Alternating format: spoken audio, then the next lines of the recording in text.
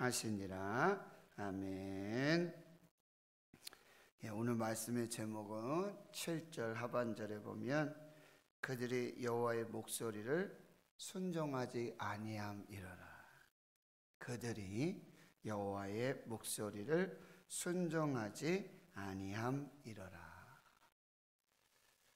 아, 유다 왕 시드기야 왕 마지막 왕이었고요. 바벨론 느부갓네살에 의해서 또 유다와 예루살렘이 불타고 성전이 불타고 성벽이 무너지고 많은 사람들이 바벨론에 포로로 잡혀가게 되고요. 그리고 또 이웃 여러 나라에 이제 흩어지게 되어집니다.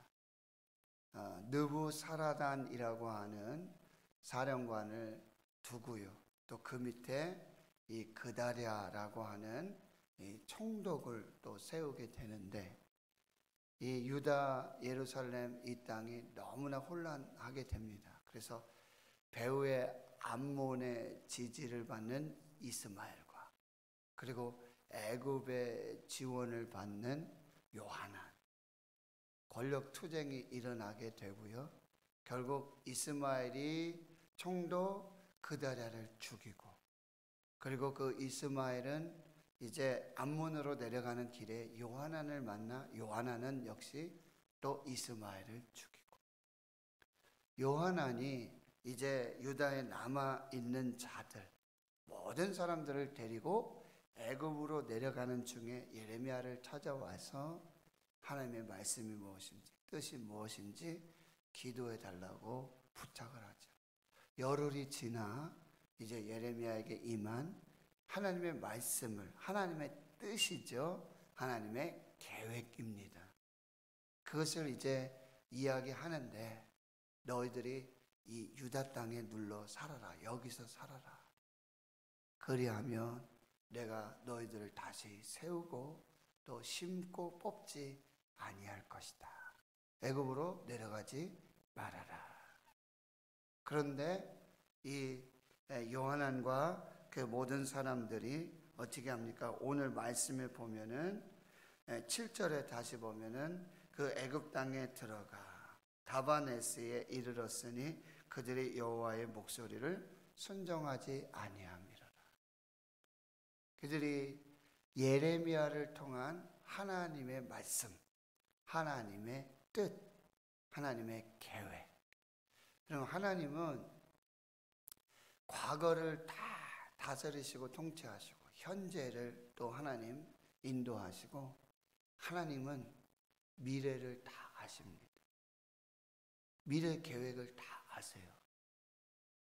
오직 하나님만이 아십니다. 그런데 그거를 하나님의 종 예레미야를 통해서 이 하나님의 말씀, 하나님의 뜻, 하나님의 계획, 하나님께서 미래에 가지고 계신 그 일들을 말씀해 주신단 말이죠. 그 말씀을 듣지 않는 거죠. 오늘 43장 1절에 보면 이제 예레미야가 모든 백성에게 그들의 하나님 여호와의 말씀 곧 그들의 하나님 여호와께서 자기를 보내서 그들에게 이르신 이 모든 말씀 말하기를 다 마칩니다. 가감 없이 빼지도 않고 더하지도 않고 하나님의 말씀, 하나님의 뜻, 하나님의 미래의 계획을 다 말씀해 주십니다. 그런데 2절에 보니까 호사의 아들 아사랴, 가레아의 아들 요하난, 그리고 모든 오만한 자들이라고 그랬어요. 하나님의 말씀을 듣지 않는 사람, 순종하지 않는 사람을 여기서 뭐라고요? 오만한 자다. 고개를 바짝 들고 자기 고집대로, 자기 뜻대로 이미 다 계획이 잡혀 있어요. 애굽으로 갈 계획이었어요. 다. 근데 예레미야 찾아와서 기도해 달라고 그래요. 근데 그 하나님의 뜻이 자기 계획과 맞지 않아요. 그럼 기도란 뭐냐? 여러분, 우리가 하나님 앞에 기도할 때 우리의 계획과 우리의 소원, 우리의 마음의 간절한 기대를 하나님께 아뢰입니다. 그런데요. 겟세만의 기도에 동산의 기도와 마찬가지로 예수님처럼 하나님 아버지, 아버지께는 모든 것이 가능합니다. 이 잔을 옮기실 수 있습니다. 그리고 이 잔 옮겨 주십시오. 그러나, 그러나요, 그러나, 내 뜻대로 하지 마시옵고, 아버지의 원대로 하옵소서. 이 기도를 드려야 돼요. 기도란 뭐냐? 내 계획을 다 가져왔어요. 그런데 그 계획을 하나님 아래에 놨는데 하나님 보시고 이거는 내 계획과 다르다. 내 생각과 다르다. 하고 하나님이 새로운 계획서를 주시는 거죠. 새로운 일정을 주시는 거예요. 그러면 어떻게 해요? 아멘.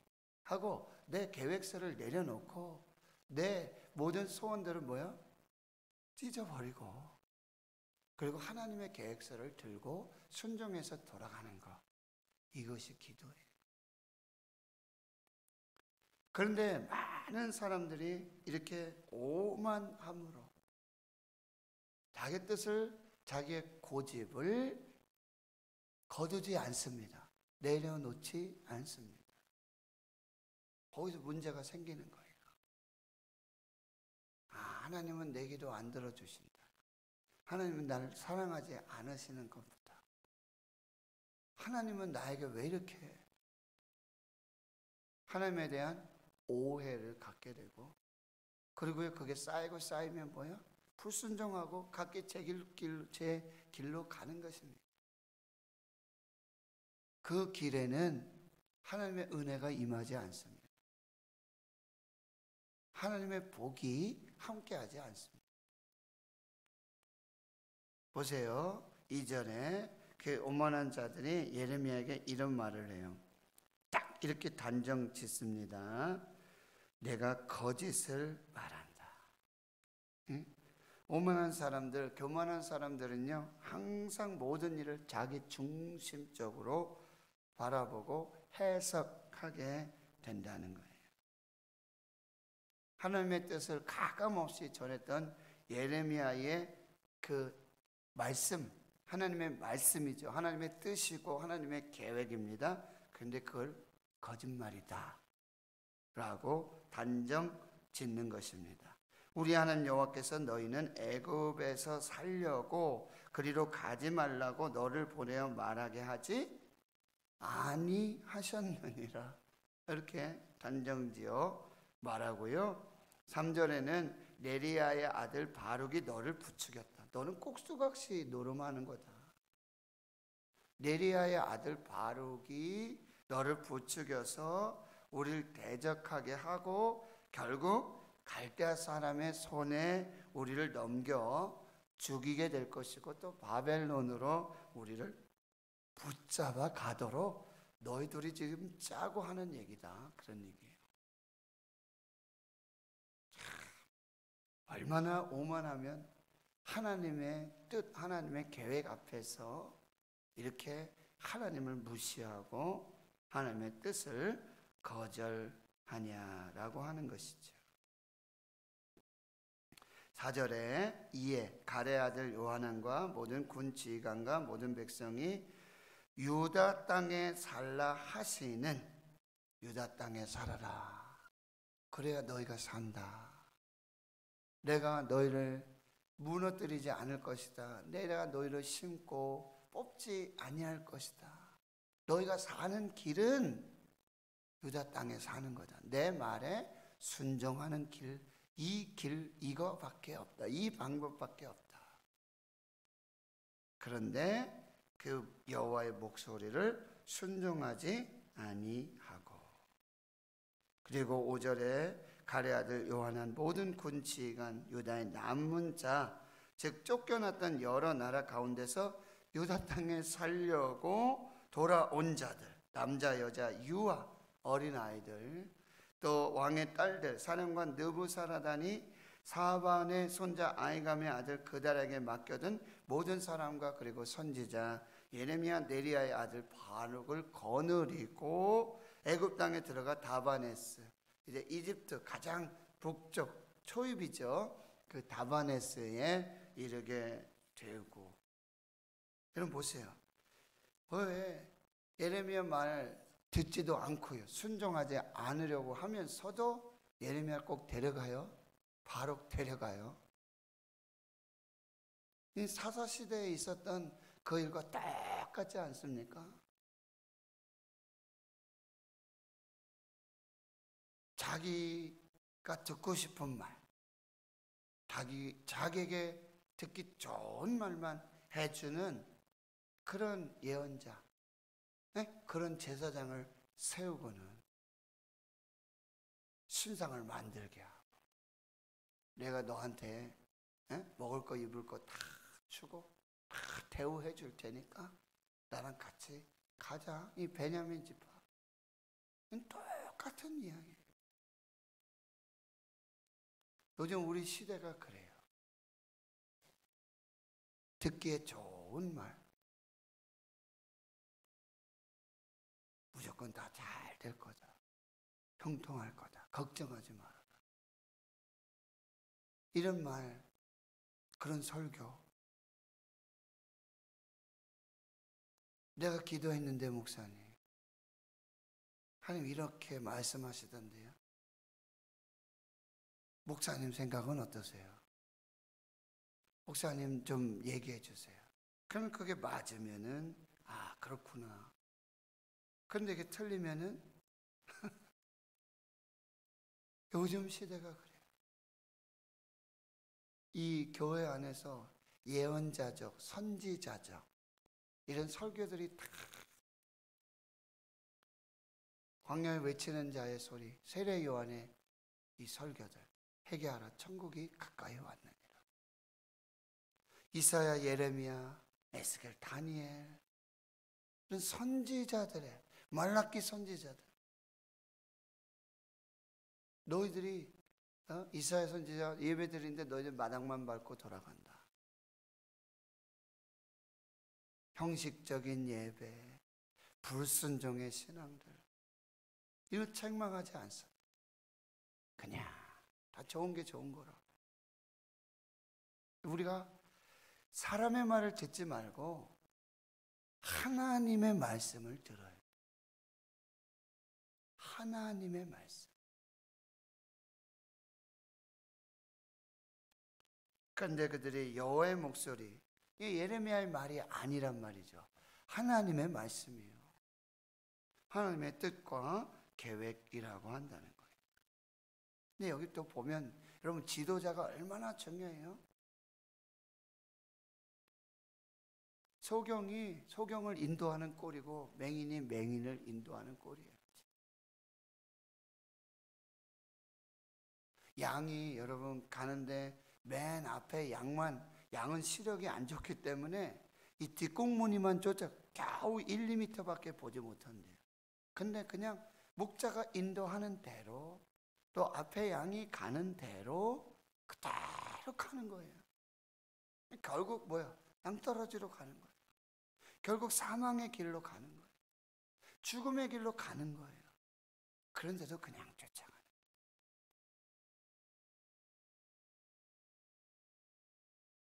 하나님의 말씀을 듣고 하나님의 뜻에 순종해야 한다.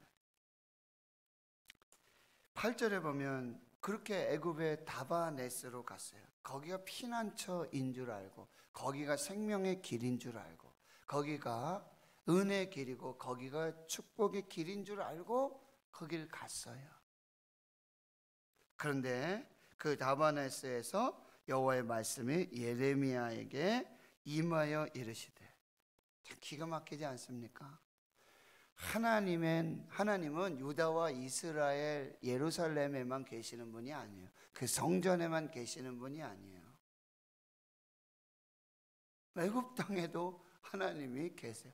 모든 나라, 모든 민족, 모든 국가를 하나님 다 경영하시고 역사를 주관하시고 하나님 다스리시고 통치 하나님의 주권이 미치지 않는 곳이 없습니다.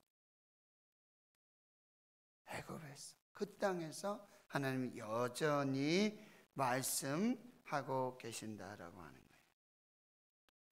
거기에 또 구절에 보면 너는 유다 사람의 눈앞에서 내 손을 큰 돌 여러 개를 가져다가 이 다바네스에 있는 바로의 궁전 대문의 벽돌로 쌓은 축대에 진흙으로 감추라. 이 다바네스는 애굽 왕 바로의 이 별궁입니다. 여름 휴양지 같은.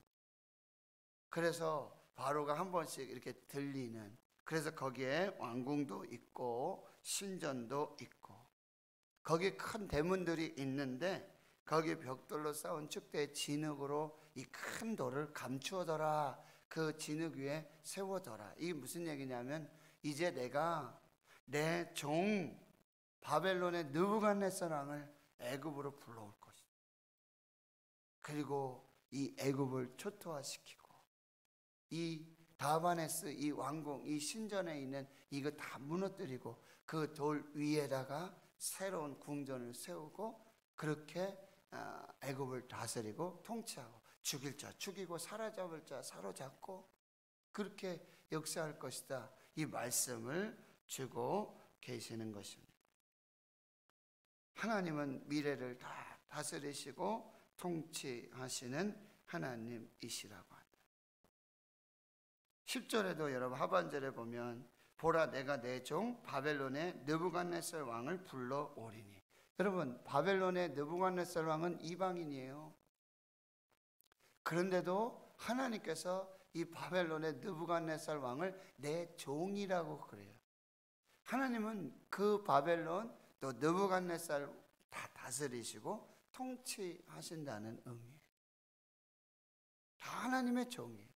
나중에 70년이 차면 바사의 고레스 왕도. 그래서 이사야 선지자 예언에 보면 여기 나의 목자, 나의 종 이렇게 고레스를 감동하게 될 것이고 이런 예언들이 나타나게 된다는 것이죠. 하나님 모든 나라, 모든 왕들, 모든 백성들을 다스리시고 하나님은 지금 현실에만 계시는 분이 아니라 미래의 모든 것을 다 알고 계시고 하나님의 뜻대로 인도하시고 역사해 주신다라고 하는 것입니다. 그 바벨론의 느부갓네살 왕 데려와서 이 그의 왕자를 이 감추인 이 돌 위에다가 세우게 되고 화려한 큰 장막 궁전을 치게 만들 것이고 애굽 땅 치고 죽일 자 죽이고 사로잡을 자 사로잡아가고 칼로 칠 자 다 칼로 치게 될 것이고 그리고 내가 애굽의 이 신당들 이 우상의 이 신당 이거를 다 보기에는 바벨론의 느부갓네살 왕이 와서 다 애굽을 불사르고 신당을 무너뜨리는 것이지요. 겉으로 보기에는 느부갓네살 왕이 하는 거죠. 그런데 그 배후에는 하나님이 계신다는 하나님이 그 일들을 다 이루어 가신다라고 말씀해 주고 있습니다. 결론입니다. 결코 우리가 살 길은 우리의 구원의 길, 우리의 생명의 길은 말씀에 순종하는 길. 때로는 우리의 계획과 우리의 생각과 맞지 않아요. 우리가 바라던 원하던 응답이 아니고 말씀이 아니에요. 그러나 고집을 내려놓고 내 뜻을 내려놓고 하나님의 뜻에, 하나님의 말씀에 오직 순종만이 우리가 사는 길이다. 구원의 길이다. 생명의 길이다. 좁은 길은요, 가는 사람이 없어. 길이 협착해요. 넓은 길이요, 사람이 그 길로 다 간단 말. 그러나 결국 멸망의 길이고 심판의 길이 된다라고 하는 것입니다. 주의 말씀에 순종하여 생명의 길을 가는 저와 여러분이 되어야 할 것입니다. 하나님의 통치가 미치지 않는 곳이 없습니다. 하나님 모든 나라에 이방 나라까지도 다 다스리시고 통치하시고 거기에도 말씀하시고 모든 왕들, 모든 나라, 모든 백성들이 다 하나님의 종이 하나님의 뜻대로 하나님의 계획대로 그렇게 움직이고 사용되어진다는 거예요. 그렇다면 우리는 정말 하나님 기뻐하시는 뜻에 하나님이 정말 영광 받으시는 그 뜻에 쓰여지고 사용되어지고 그래서 하나님의 뜻을 이루고 하나님의 영광을 드러내는 그런 하나님의 백성들로 살아야 한다라고 합니다. 결국 하나님이 가장 안전한 피난처라고 합니다. 피난처 있으니 환란을 당한 자 다 이리 오라. 환란 중에 만날 큰 도움이신 하나님께로 그리고 말씀의 길에 순종해서 생명과 구원을 얻는 저와 여러분이 될 수 있기를 주의 이름으로 축원합니다. 하나님 아버지 감사합니다. 오늘도 이 새벽 저를 깨워 주시고 주의